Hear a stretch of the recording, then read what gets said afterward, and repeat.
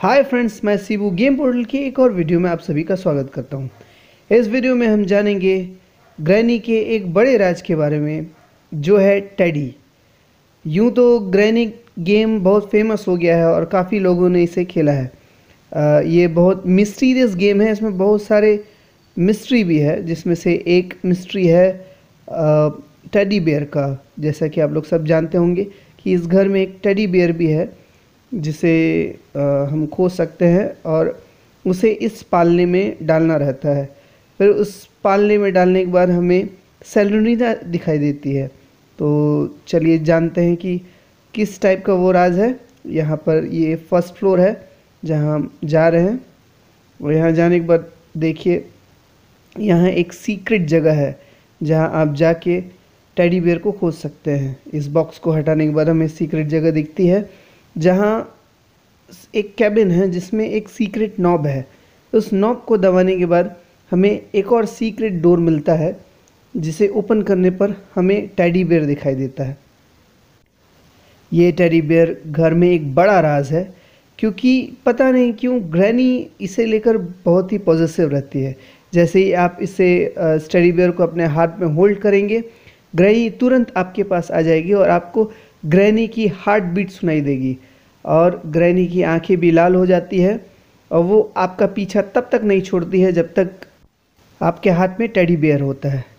देखिए ग्रैनी की आँखें लाल हो जाती है, वो अजीब सी बेचैनी महसूस करती है जब तक आपके हाथ में टेडी बेयर रहता है। वो नहीं चाहती कि टेडी बेयर किसी और के हाथ में जाए। जैसे ही आप टेडी बेयर छोड़ देते हैं कुछ देर के बाद ग्रैनी अपने आप रिलैक्स हो जाती है और नॉर्मल हो जाती है, देखिए, उसकी आँखें भी नॉर्मल हो गई है।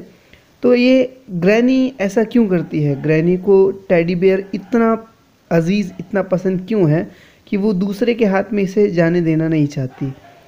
तो आगे हम देखते हैं टेडी बेयर का यूज़ इस घर में। अगर हम टेडी बेयर को पकड़ लेते हैं हाथ में और उसे फ़र्स्ट फ्लोर में जो एटीक है एटीक में जो पालना है, उसके अंदर डाल के देखेंगे कि क्या होता है? तो चलिए टेडी बेयर अभी मेरे हाथ में है। इसे मैं ऊपर फ्लोर में जाके एटीक में उस पालने में डालता हूँ। तब आपको ये पता चलेगा कि टेडी बेयर को पालने में डालने के बाद सेलेंड्रीना बाहर आती है।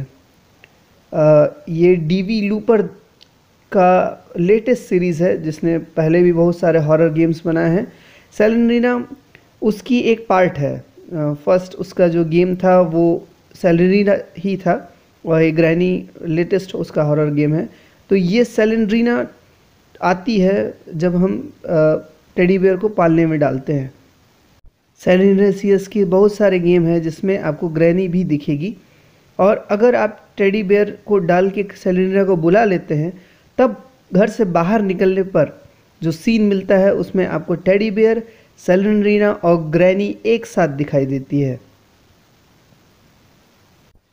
तो चलिए मैं आपको बताता हूँ कि इन तीनों में क्या कनेक्शन है टेडी बियर और ग्रैनी में। एक्चुअली इस घर में एक मैसेकर हुआ था। इसका मतलब है कि किसी आदमी ने इनकी पूरी फैमिली को यहाँ मार दिया था, जिसके कारण ग्रैनी आदमियों को ढूंढती है और उन्हें मारती है। ये बुक आपको मिलेगा।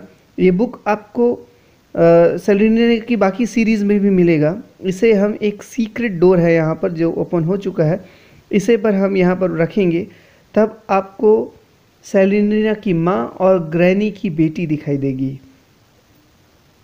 सेलेंड्रीना की माँ को इस तरीके से बाँध के मारा गया था। ग्रैनी बच गई थी घर में और टेडी बेयर के साथ सेलेंड्रीना को मारा गया था। इसलिए जब भी हम सेलेंड्रीना को उस पालने में जिसमें सेलेंड्रीना सोया करती थी उसमें रखते हैं तो सेलेंड्रीना वापस आ जाती है।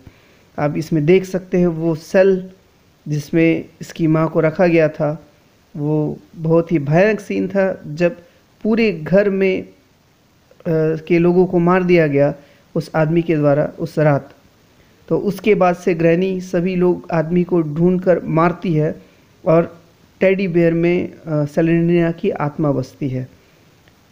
होप ये वीडियो आपको पसंद आया होगा। अगर आपको पसंद आया तो प्लीज़ लाइक कीजिएगा, शेयर कीजिएगा, कमेंट कीजिएगा और प्लीज़ सब्सक्राइब करना ना भूलिएगा। Thank you.